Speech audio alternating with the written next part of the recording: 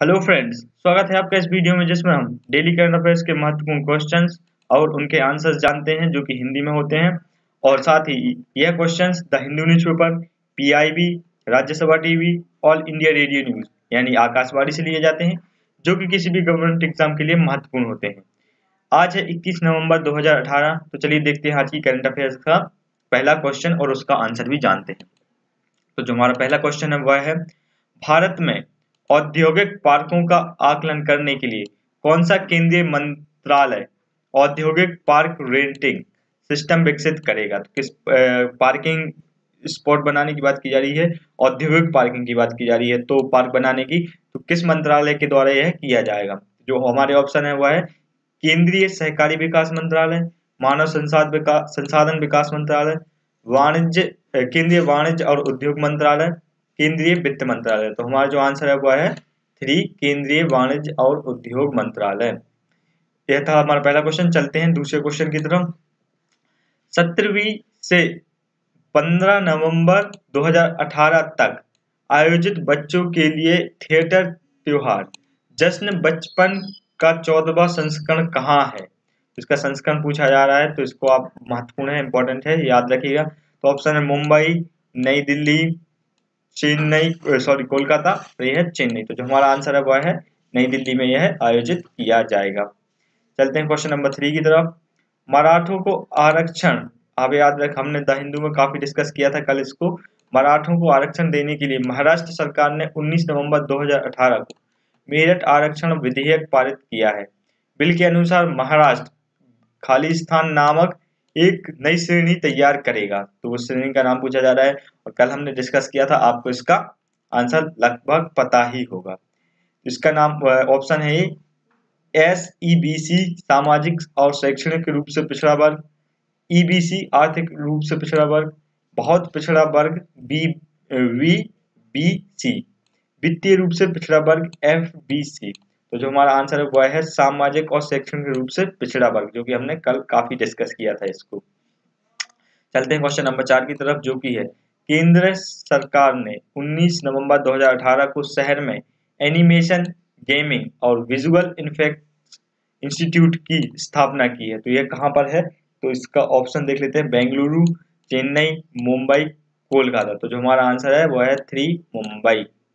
चलते हैं question number four की फाइव की तरफ़ महाराष्ट्र और गुजरात के बाद 18 नवंबर 2018 को हुक्का बार या लाउंज पर स्थायी रूप से प्रतिबंध लगाने के लिए कौन सा तीसरा भारतीय राज्य बन गया है? तो जो इस तीसरा भारतीय राज्य बन गया है, कौन सा है वह? पहले दो थे और तीसरा यह राज्य बना है तो इसका हम ऑप्शन देख लेते हैं। हरियाणा, पंजाब, केरल, राजस्थान। जो हमारा आंसर है, वह है टू पंजाब पंजाब यहाँ सब तीसरा राज्य बन गया है। तो इसे याद रखिएगा इंपॉर्टेंट हो जाता है। इसी के साथ जो अगला क्वेश्चन है क्वेश्चन नंबर छह। इंडो जापान यानी कि इंडो जापान इंडिया और जापान बिज़नेस काउंसिल का खाली स्थान संस्करण कोनी, कोनिची डब्ल्यू पुनु फेस्टिवल पुणे महाराष्ट्र में 17 नवंबर और 18 नवंबर 2018 को आयोजित किया गया था। खालिस्तान संस्करण, कौन सा संस्करण था? पहला, चौथा, दूसरा तीसरा तो जो हमारा है, यह आंसर पहला, यह पहला संस्करण था जिसे आयोजित किया गया था। चलते हैं क्वेश्चन नंबर सात की तरफ़। सत्रहवीं और अठारहवीं नवंबर, सत्रह और अठारह नवंबर 2018 को आयोजित एपीईसी एशिया प्रशांत आर्थिक सहयोग शिखर सम्मेलन 2018 कहाँ था? ठीक है, इसको आज हमने द हिंदू में डिस्कस किया है, अगर आपने वह देख लिया होगा न्यूज़पेपर तो आपको इसके बारे में आइडिया लग गया होगा। Ports, Moresby, पुआओ, New Guinea. Manila, Philippines, Jakarta, Indonesia, Ulan, Bator, Mongolia. तो जो हमारा आंसर है वह है फ़र्स्ट पोर्ट्स मोरेसबी हुआओ न्यू गिनी। यहाँ पर यह हुआ है। ठीक है, इसी के साथ जो अगला क्वेश्चन है क्वेश्चन नंबर आठ, वह है, नेपाल के कास्की ज़िले में खालिस्तान नेपाली रुपए की भारतीय सहायता के साथ बनाए गए तीन शैक्षणिक संस्थानों का उद्घाटन किया गया है। ठीक है? तो हम देखेंगे यहाँ पर, हमने कुछ दिन पहले पैसे भी दिए गए थे यहाँ पर इंडिया के द्वारा तो अब यहाँ पर नए संस्थान बनाए गए तो कितने रुपए दिए गए थे वो पूछा जा रहा है। तो ऑप्शन है एक सौ साठ मिलियन नेपाली रुपए। नेपाली रुपए की बात की जा रही है, ठीक है? 160 मिलियन नेपाली रुपए, दो सौ पचास दशमलव पच्चीस मिलियन नेपाली रुपए, एक सौ नब्बे मिलियन नेपाली रुपए। तो हमारा जो आंसर है वो है एक सौ छब्बीस दशमलव साठ मिलियन नेपाली रुपए दिए गए थे। अगला क्वेश्चन है क्वेश्चन नंबर नाइन जो है वो जो कि है housing finance firm H D F C ने घोषणा की है कि उसने 18 नवंबर 2018 को प्रधानमंत्री Awas Yojana P M A के तहत इक्यावन हज़ार से अधिक ग्राहकों को सब्सिडी के, के लिए सब्सिडी दे दी है। ठीक है? सब्सिडी के लिए इन्हें सब्सिडी दे दी गई है। तो कितनी राशि है वह पूछा गया है। तो यहाँ पर 1100 करोड़ 2300 करोड़ बयालीस करोड़ बत्तीस करोड़। तो जो हमारा आंसर है वह है एक ग्यारह करोड़। इसी के साथ, आज का जो क्वेश्चन है मतलब लास्ट वाला वह है दसवा, इस क्वेश्चन का आंसर आपको कमेंट बॉक्स में देना है, इस क्वेश्चन का आंसर ज़रूर दीजिएगा।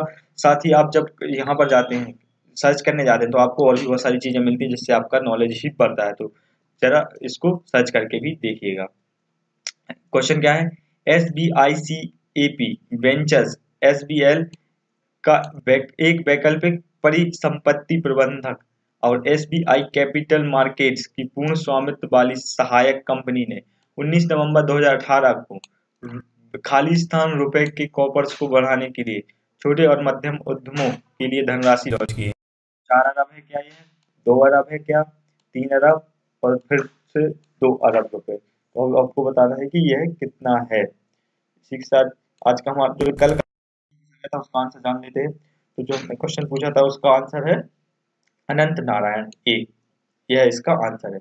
इसी के साथ यह था आज के हमारे क्वेश्चन जो काफ़ी शानदार थे। और आपसे जो भी क्वेश्चन पूछे उसको कमेंट बॉक्स में बताएँ। और अगर आपको वीडियो पसंद आए तो लाइक करें। पसंद नहीं आए तो डिसलाइक करें। डिसलाइक क्योंकि कमेंट बॉक्स में बताएँ। साथ ही आप अपने दोस्तों के साथ इस वीडियो को शेयर करें, ताकि इनको भी फ़ायदा हो जाए। और आप हमारे चैनल को सब्सक्राइब करके बेल आइकन प्रेस करें, ताकि जब भी वीडियो अपलोड हो, आपको इसका नोटिफिकेशन मिल जाए और आपको कोई भी लेक्चर मिस ना हो। साथ ही आप इस लेक्चर की पीडीएफ भी डाउनलोड कर सकते हैं। लिंक डिस्क्रिप्शन बॉक्स में प्रोवाइड करा दी जाती है। तो आज के लिए बस इतना ही। धन्यवाद।